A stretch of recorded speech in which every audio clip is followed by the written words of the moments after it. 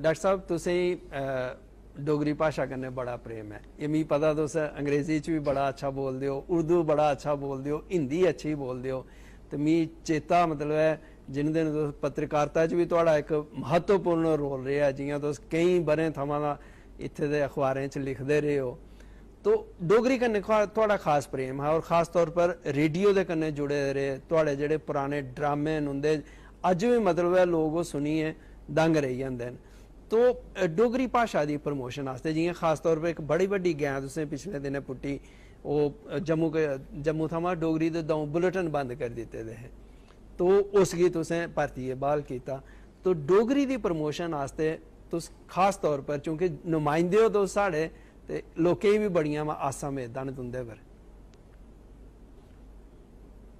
ਨਹੀਂ ਸੰਜੀਤ ਜੀ ਤੁਸੀਂ ਬੜੀ ਇੱਕ ਚੰਗੀ ਗੱਲ ਛੜੀ ਹੈ ਜਿਹੜੀ ਮੇਰੇ ਦਿਲੇ ਦੇ ਬੜੇ ਕਰੀਬ ਹੈ ਔਰ ਇਹ ਸੱਚ ਹੈ ਹੁਣ ਇਸ ਜ਼ਿੰਦਗੀ ਦੀ ਤੇਜ਼ ਰਫ਼ਤਾਰੀ 'ਚ ਕਈ ਵਾਰੀ ਉਹਨਾਂ ਚੀਜ਼ਾਂ ਦਾ ਖਿਆਲ ਵੀ ਨਹੀਂ ਰਹਿੰਦਾ ਜੀ। ਡੋਗਰੀ 'ਚ ਮੈਂ ਤੁਹਾਡੇ ਹੁੰਦੇਗਾ ਰੇਡੀਓ ਸਟੇਸ਼ਨ 'ਚ ਵੀ ਰਿਹਾ। ਜੀ ਜੀ। ਤੇ ਮੈਂ ਇਹ ਹਾਈ ਆਰਟਿਸਟ ਹਾਂ ਉੱਥੇ ਡੋਗਰੀ ਡਰਾਮਾ 'ਚ। ਔਰ ਉਹ ਸੁਨਹਿਰੀ ਜ਼ਮਾਨਾ ਹਾਂ। ਜੀ ਜੀ। ਜਦੋਂ ਪੰਡਤ ਮਦਨ ਮੋਹਨ ਸ਼ਰਮਾ ਤੇ ਨਰਸਿੰਘ ਦੇਵ ਜੰਬਾਲ ਤੇ ਬੜੇ ਬੜੇ ਉੱਚ ਦਰਜੇ ਦੇ ਲਿਖਕੇ ਦੇ ਡਰਾਮੇ ਪ੍ਰਸਾਰਿਤ ਹੁੰਦੇ।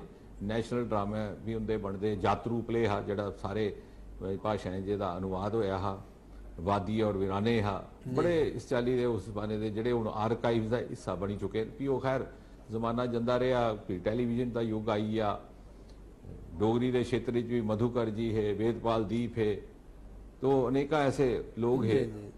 8th ਸ਼ਡਿਊਲ ਦਾ ਜਿਸ ਲਈ ਸੰਘਰਸ਼ ਹੋਇਆ ਸੀ ਯੁਵਾ ਅਵਸਥਾ ਚ ਉਹਦੇ ਲਈ ਵੀ ਜੁੜੇ ਰਹੇ। ਜੀ। ਲੇਕਿਨ ਅਫਸੋਸ ਇਹ ਹੈ ਕਿ ਡੋਗਰੀ ਅਗਰ ਉਸ ਚਾਲੀ ਦਾ ਇਸ ਦਾ ਇਸ ਦਾ ਵਿਕਾਸ ਨਹੀਂ ਹੋਇਆ ਤਾਂ ਉਹਦਾ ਕਾਰਨ ਇਹ ਹੈ ਜੀ।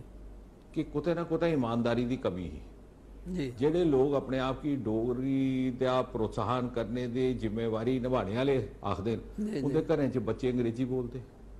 ਜੀ। ਉਹ ਮਿਕੀ ਗਲਾਉਂਦੇ ਥੋੜੀ ਸ਼ਰਮ ਆਉਂਦੀ ਹੈ ਪਰ ਚੀਕੇ ਮੈਂ ਪ੍ਰੈਕਟਿਸ ਵੀ ਕਰਦਾ ਹਾਂ। ਹਾਂਜੀ ਜੀ ਤੇ ਬੜੇ ਬੜੇ ਡੋਗਰੀ ਸਾਹਿਤਕਾਰਾਂ ਦੇ ਬੱਚੇ ਆਉਣੇ ਮੇਰੇ ਕੋਲ ਇਲਾਜ ਕਰਾਣੇ ਤੇ ਉਹਨਾਂ ਛੜੀ ਅੰਗਰੇਜ਼ੀ ਬੋਲਣੀ ਤੇ ਡੋਗਰੀ ਬੋਲਦੇ ਉਹਨੀ ਥੋੜਾ ਜਿਹਾ ਸ਼ਰਮਾਉਂਦੀ ਅਸਮੰਜਸ ਹੋ ਜਾਂਦਾ ਅਸੁਵਿਧਾ ਹੋ ਜਾਂਦੀ। ਜੀ ਜੀ।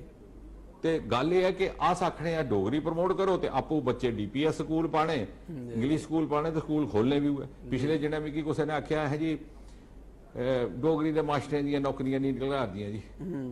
ਮੈਂ ਆਖਿਆ ਵੀ ਗੱਲ ਇਹ ਆ ਅਸੀਂ ਕੋਈ ਉਹਦੇ ਚ ਇਤਰਾਜ਼ ਨਹੀਂ ਲੇਕਿਨ ਦਿੱਕਤ ਇਹ ਆ ਵਰਦੀ ਕਿ ਛਾਤਰ ਘੱਟ ਹੋਣ ਦੀ ਵਜ੍ਹਾ ਕਰਕੇ ਵੀ ਵੇਤਨ ਦੇਣੀ ਮੁਸ਼ਕਲ ਹੁੰਦੀ। ਤੇ ਮਾ ਤੁਸੀਂ ਇੰਨੀ ਮਿਹਰਬਾਨੀ ਕਰੋ ਤੁਸੀਂ ਇੰਨਾ ਵੱਡਾ ਡੈਪੂਟੇਸ਼ਨ ਲਈ ਆਏ ਦਿਓ। ਇੱਕ ਐਫੀਡੇਵਿਟ ਸਾਰੇ ਲਿਖੀਏ ਦੇ ਜੜੋ ਕਿ ਤੁਸੀਂ ਆਪਣੇ ਬੱਚੇ ਹੀ ਡੋਗਰੀ ਡੋਗਰੀ ਵਿੱਚ ਮੀਡੀਅਮ ਆਗੇ ਉਹ ਦੇਣੀ ਕੋਈ ਤਿਆਰ ਨਹੀਂ। ਅੱਛਾ ਹੁਣ ਤੁਸੀਂ ਇੱਕ ਇਹ ਜਿਹੜੀ ਬਿਲਕੁਲ ਤਤਕਾਲੀਨ ਗੱਲ ਛੇੜੀ ਹੈ ਡੋਗਰੀ ਦੇ ਬੁਲੇਟਨ ਦੀ। ਬੁਲੇਟਨ ਦੀ ਹਾਂ। ਮਿੱਕੀ ਬੜੀ ਹੈਰਾਨਗੀ ਹੋਈ। ਔਰ ਮੈਂ ਕੋਈ ਮੈਂ ਕੋਈ ਸ਼ਿਕਾਇਤ ਨਹੀਂ ਕਰਾਂਦਾ ਕਿਉਂਕਿ ਆਪਣੀ ਭਾਸ਼ਾ ਆਪਣੇ ਲੋਕ ਆਪਣਾ ਪਰਿਵਾਰ ਕੋਦੇ ਨੇ ਸ਼ਿਕਾਇਤ ਕਰਨੀ? ਉਹ ਜੀਆਂ ਉਹ ਮਾਸੂਮ ਫਿਲਮ ਦਾ ਗਾਣਾ ਹੈ ਕਿ ਤੁਝਸੇ ਨਾਰਾਜ਼ ਨਹੀਂ ਜ਼ਿੰਦਗੀ ਹੈਰਾਨ ਹੂੰ। ਹੈਰਾਨ। ਨਾਰਾਜ਼ਗੀ ਨਹੀਂ ਹੈ ਇਹ ਹੈਰਤ ਹੈ।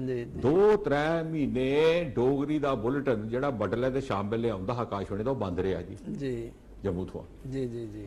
ते कुसै डोगरी दे पत्रकार दे जेह्ड़े आखदे अस डोगरा पत्रकार कुसै डोगरी दे नेता ने जेह्ड़ा आखदे अस डुग्गर आस्तै मरी मिटगे कुसै डोगरी दे साहित्यकार ने कुतै ना एह् आवाज चुक्की ना कुतै सोशल मीडिया मैसेज पाया ना कुतै लेख लिखेआ ना कोई मैमोरेंडम ना कुसै शिकायत कीती होया एह् कि एक दिन राती बेल्लै कोई दस बजे ने दो जागतें मिगी टेलीफोन कीता साढ़े कार्यकर्ता हे ते मिगी आखले सर जी इक बड़ी अनोखी गल्ल ऐ बाकी तो ओह् बेचारे चुके थोड़े ग्रां च रौंह्दे हे ਇਹ ਜੀ ਇੱਥੇ ਆਕਾਸ਼ਵਾਣੀ ਦੀਆਂ ਖਬਰਾਂ ਜਿਹੜੀਆਂ ਆਉਂਦੀਆਂ ਬੜਲਾ ਸ਼ਾਮ ਉਹ ਬੰਦ ਹੋਈ ਦੀਆਂ। ਮੈਂ ਹੋ ਗਈਆਂ ਹੋਈ ਸਕਦਾ।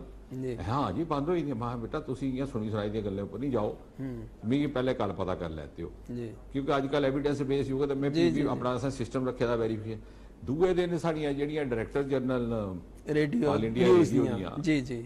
ਆਕਾਸ਼ਵਾਣੀ ਦੀਆਂ ਨਿਊਜ਼ ਨਿਊਜ਼ ਦੀਆਂ। ਮੈਡਮ ਈਰਾ ਜੋਸ਼ੀ। ਈਰਾ ਜੋਸ਼ੀ ਹਾਂ। ਤੇ ਉਹਦੇ ਨੇ ਮੈਂ ਸੰਪਰਕ ਕੀਤਾ।